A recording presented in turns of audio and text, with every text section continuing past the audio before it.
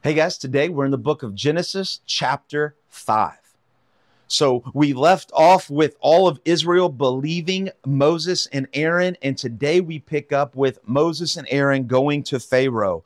And they say, Thus says the Lord. They are ambassadors, they are speaking for a God. And God of Israel, uh, let my people go that they may hold a feast to me in the wilderness, a feast, a festival.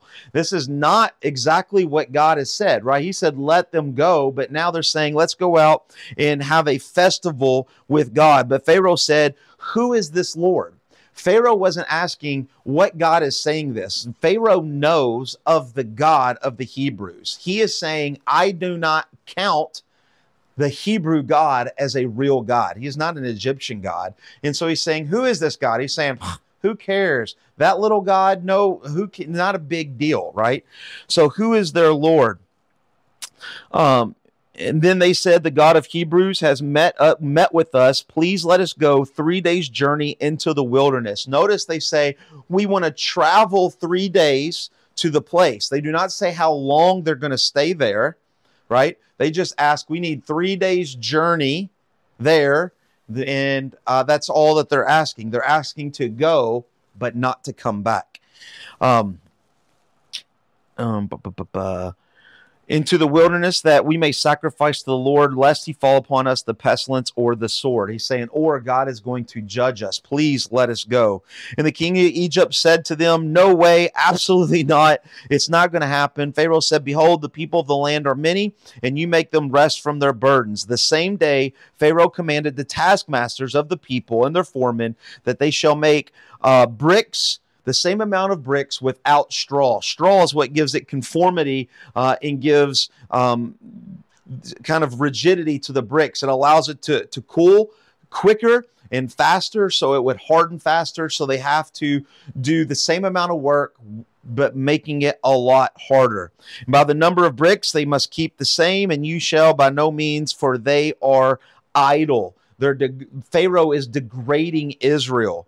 Um, let us go. Uh, therefore, they cry, Let us go and offer sacrifice to our God. Let heavier work be laid on the men that they may labor at it and pay no regard to lying words. So here we can see Pharaoh is doubling down. He just didn't say no to God, but he is saying absolutely not. And now I'm going to make it harder for the people of God. So the taskmasters and the foremen of the people went out and would not give them straw. They have to go cut straw for themselves. Um, and now we can even see that the taskmasters are beating the foremen and and instead of the slaves. So instead of beating the slaves, he's beating the guys over the slaves, right? And that's what we see in verse 14. And they were beaten and they ask, Why have you um, why have you not done all your task of making bricks in yesterday as in the past? Then the foreman of the people of Israel, the leaders of the Israel, cried, uh, cried to Pharaoh, Why do you treat your servants like this? No straw has been given. And he said, You are idle, you are idle. Now, Pharaoh is mocking Israel to their face, not just to Moses and Aaron's face, but to their own face. And he's doing this for a particular reason. He says, Go now and work. No straw will be given. Uh, the foreman of the people of Israel saw that they were in trouble. Um, they met with Moses and Aaron in verse 20 who are waiting for them as they came out with Pharaoh, and they said to them, The Lord look on you and judge. The foremen, the leaders of Israel, are now cursing Moses and Aaron. They're asking for God to judge them because they made their work harder, right? So Pharaoh doubled down against God, but what he's doing is he's driving a wedge in between Israel, the Hebrews, the slaves, and their two leaders, Moses and Aaron.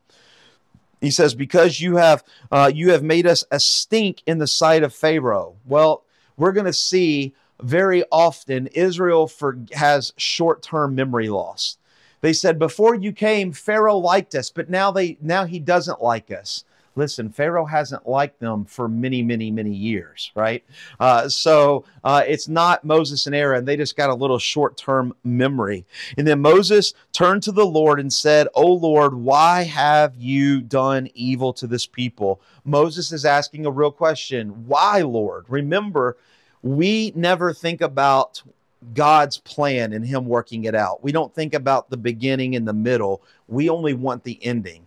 God wanted them released. Okay, then that's what should happen. But God has a plan that's working out. And Moses is asking, Why, Lord? Why did you ever send me?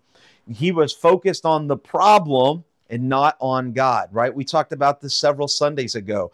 How big your problem is, is how what tells you how big your God is, right? If you have a big problem, then your God is little. But if you have a little problem, then your God is big, right?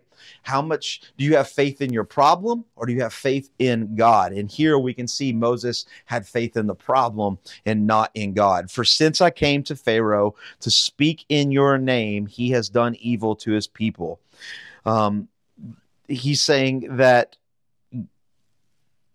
this problem that they're in uh, is a problem. And Moses doesn't understand, but God understands. God is about to show a nation, Egypt, but all the nations of the world, just exactly how big God really is.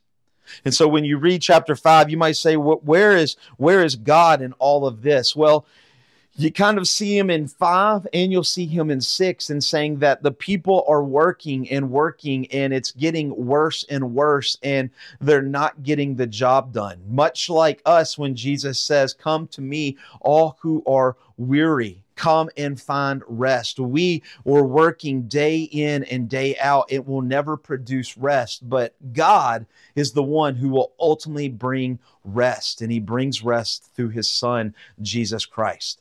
Hope that makes sense. We will see you uh, tomorrow in chapter six. God bless.